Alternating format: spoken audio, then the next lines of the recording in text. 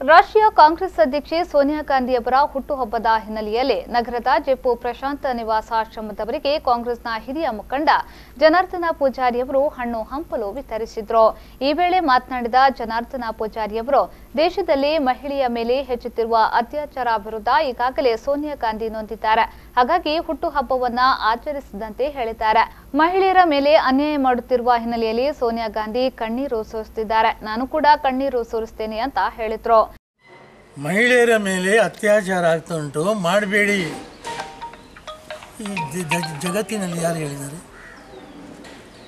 ಯಾರು ಸಹ ಹೇಳಿಲ್ಲ ಹಾಗೆ? ಆದರೆ ಸೋನಿಯಾ ಗಾಂಧಿಯವರು ಹೇಳ್ತಿದ್ದಾರೆ. ನೊಂದಿದ್ದಾರೆ ಅವರು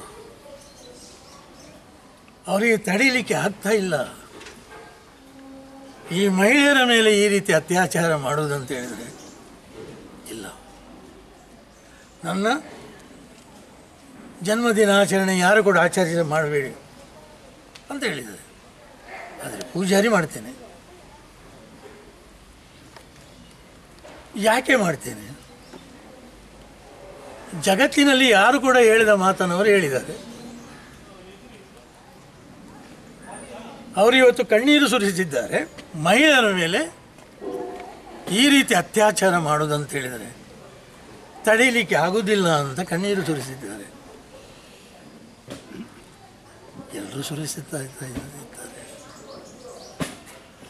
ಪೂಜಾರಿ ಕೂಡ ಸುರಿಸ್ತಾ ಇದ್ದೇನೆ. ಈ ವೇಳೆ ಕಾಂಗ್ರೆಸ್ ಮುಖಂಡರಾದ ಟಿಕೆ ಸುಧೀರ್ ಸೇರಿದಂತೆ ಮತ್ತಿತರರು ಉಪಸ್ಥಿತರಿದ್ದರು.